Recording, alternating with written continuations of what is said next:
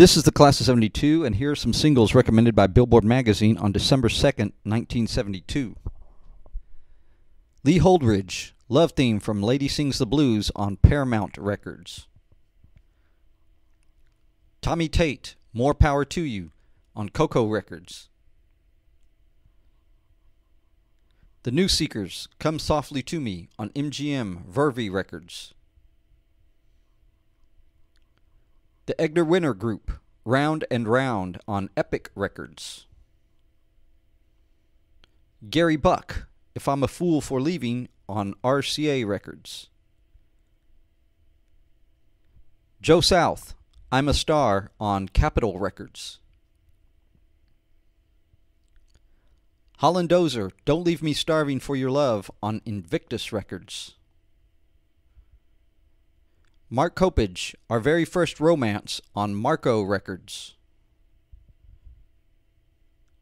The Pre Sisters, Let's Get Together on Capitol Records.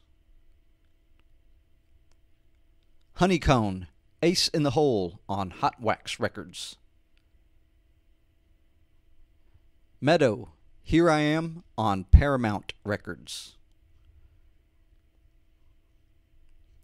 The Futures, Love is Here on Gamble Records. The Band, I Don't Want to Hang Up My Rock and Roll Shoes on Capitol Records. Pat Dennis, Romance Without Finance on Perception Records.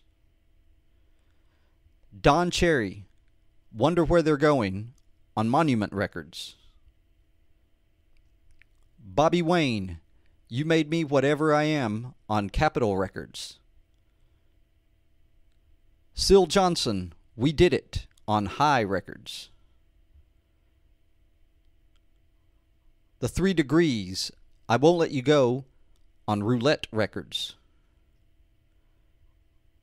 J. Geils Band, Hard Driving Man on Atlantic Records. Flash, Lifetime on Capitol Records.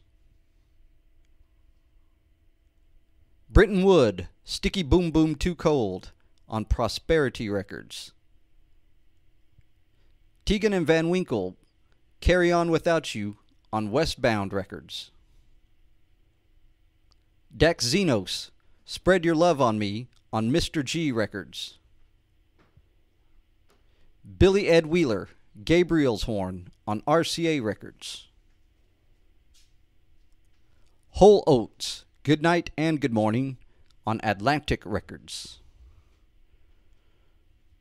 The Doors, The Piano Bird on Elektra Records. Azito, Sing Jambalaya Sing on Epic Records. Eddy Arnold, So Many Ways on MGM Records. And finally, The Kinks, Celluloid Heroes on RCA Records. These are some of Billboard's recommended singles for December 2nd, 1972.